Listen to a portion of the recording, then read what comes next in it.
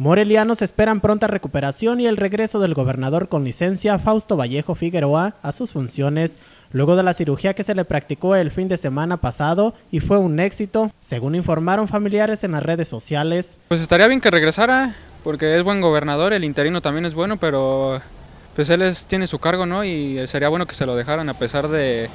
Jesús Reina se llama, está ahorita en, pues sí, en el poder. Que Fausto Vallejo recupere su salud son los deseos de los ciudadanos entrevistados para que retome las riendas del Estado. Que se incorpore nuevamente a sus funciones como gobernador, que todos esperamos que esté bien y que goce de completa salud.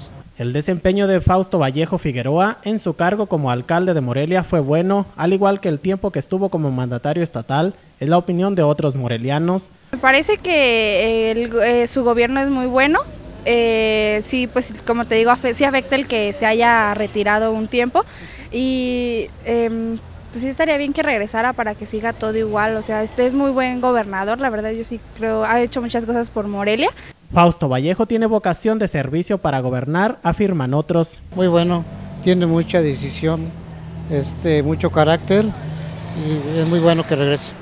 Si el gobernador constitucional se reincorpora a sus funciones constitucionales, apoyará la productividad de la entidad, menciona un estudiante.